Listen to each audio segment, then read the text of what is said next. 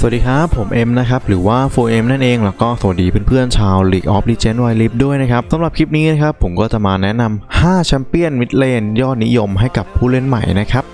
ถ้าพร้อมแล้วเราไปชมกันเลยครับ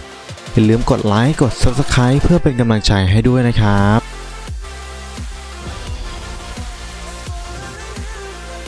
จริงๆแล้วนะครับแชมเปี้ยนใน League of Legends Wild Rift เนี่ยมีหลายตัวมากเลยที่เราสามารถเล่นในเลนกลางได้ ไม่ว่าจะเป็นแชมเปี้ยนสาย support หรือว่า ADC บางตัวเช่น Lux หรือว่าเอเลียวที่บางครั้งอาจจะพบเจอใน mid lane ก็มีนะครับ แต่สำหรับคลิปนี้นะครับผมก็จะมาแนะนำแค่ 5 อันดับที่นิยมเล่นกันเหลือเกินใน rank ของ League of Legends Wild Rift นะครับอันดับที่ 1 ยาสุโอ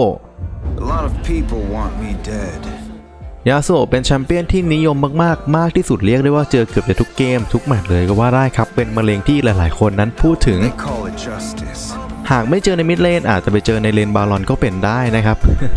เรียกว่าทุกเกมนั่นแหละ แต่หลักๆแล้วส่วนมากจะหยิบมาเล่นในตำแหน่งเลนกลางกันครับ เพราะเป็นตัวที่ trade หรือว่าแลก damage กับแชมเปี้ยนตัวอื่นจัดอยู่ในขั้นที่แบบว่าได้เปรียบมากๆครับ รวมถึงการวิ่ง roam หรือว่าไปช่วยเลนต่างๆ นั้นทำได้ดีมากเลย ทั้ง skill ที่เล่นได้หลากหลาย และมี cooldown ที่น้อยแถมยังแรงอีกด้วยนะฮะ แต่บอกไว้ก่อนนะครับว่าหากเพื่อนๆคนไหนที่อยากเล่นแชมเปี้ยนตัวนี้ ผมคนนึงเลยนะครับแนะนำว่าให้ผู้เล่นใหม่จริงๆนะฮะควรเล่นในโหมด normal หรือว่าฝึกให้ชำนาญก่อนนั่นเองครับไม่อย่างนั้นแล้วจะกลายเป็นมะเร็งเน่าๆดีๆ นั่นเองนะครับอันดับที่สอง Akali สาวนินจาผู้ใช้คุณนายเป็นอาวุธหลักของเธอ ตัวนี้ออกจะคล้ายๆ กับ Yasuo อยู่ไม่น้อยครับ ที่บอกว่าไม่น้อยนี่ก็คือ ตัวนี้สามารถเล่นได้ทั้งเลนกลางแล้วก็ lane Baron นั่นเองครับพูดง่ายก็คือตัวนี้เป็นตัวที่สามารถโซโล่และ trade damage ได้ดีมากๆตัวหนึ่งเลยครับแถม skill ในแต่ละ skill นั้นแรงมากๆเลย หากใครที่เจอเธอคนนี้อย่าได้ประมาทเชียวนะครับเพราะเอาจริงๆแล้ว Akali สามารถ combo จนตายได้ตั้งแต่เลเวล2แบบง่ายดายมากเลยครับในเรื่องของการ roam ก็ไม่น้อยหน้าไปกว่าตัวอื่นๆครับมี skill ที่เข้าออกได้คล่องตัว แถมมี skill หมอกควันที่พรางตัวหนี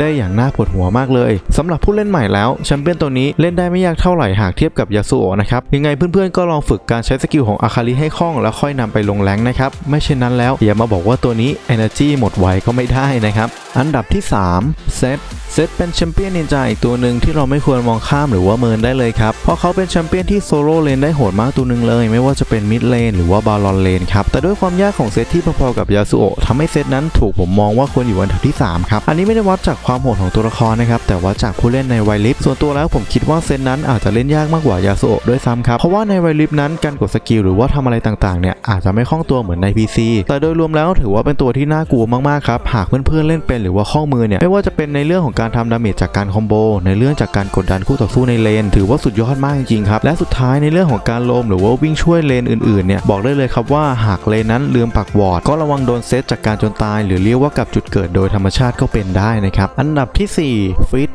Fizz เป็นแชมเปี้ยนที่มี skill แรงมากๆตัวหนึ่งเลยครับ หากว่าเราโดน combo ปล่อยปลาแบบครบชุดเนี่ย บอกได้เลยนะครับว่ามีเปอร์เซ็นต์ที่จะตายสูงมากครับ แนะนำว่าหากคนที่จะเล่น Fizz นะครับ พยายามไปเลนกลางนั้นจะเป็นการดีที่สุดนะครับ ถ้าหากว่านำไปเล่นใน lane Baron หรือว่าเข้าป่าแบบ jungle เนี่ยอาจจะไม่เหมาะสำหรับ Fizz นะครับ เพราะ Fizz นั้นจะไปช่วยเลนอื่นได้ยากมากครับ เพราะฉะนั้นแล้วอยู่เลนกลางถือว่าโอเคที่สุดสำหรับ Fizz เลย เพราะว่า skill ulti ของ Fizz นั้นทั้งไกลและก็แรงมาก ถ้าหากปล่อย ulti ดีๆ แล้วเนี่ยศัตรูอาจจะมองไม่เห็นเลยก็เป็นได้นะครับดังนั้นเหมาะที่อยู่เลนกลางมากๆครับ รวมถึง skill ที่ 3 ของเจ้า Fizz เนี่ยที่หนีได้ง่ายแถมยังเป็นอมตะอยู่ชั่วขณะหนึ่งด้วยครับ บอกได้เลยว่าพริ้วสุดๆถ้าหากใครที่เคยโดน หรือว่าเป็น main ตัวนี้อยู่เนี่ยจะรู้ได้ทันทีว่า